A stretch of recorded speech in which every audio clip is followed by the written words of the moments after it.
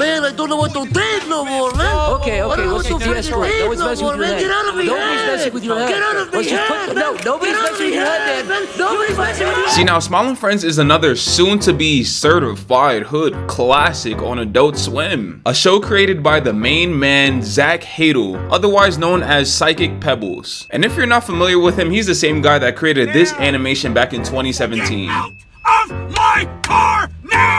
Why are you yelling at me?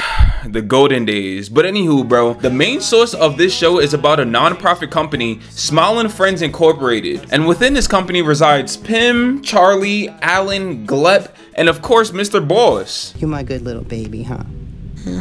Yeah.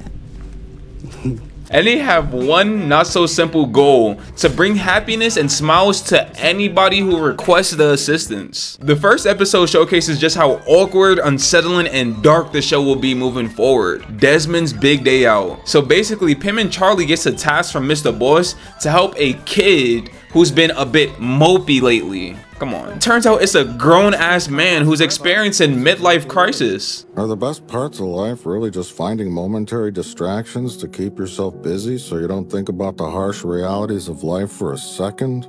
I can ride roller coasters, meet new friends, and spend time with my family all day long.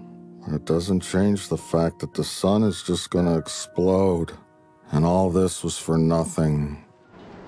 Bro, I'm not gonna lie, there's a lot of clips that's still stuck in my fucking head from the episodes. Like, you know, Mr. Frog, uh, the the motherfucking demon that got jumped for having blackface, but bro, who fucking cares? Gwimbly's here and he keeps fucking showing up on my For You page. No, I've definitely seen you two before. You're you're trying to mess with me. Ew, ew, ew. Get out of my head.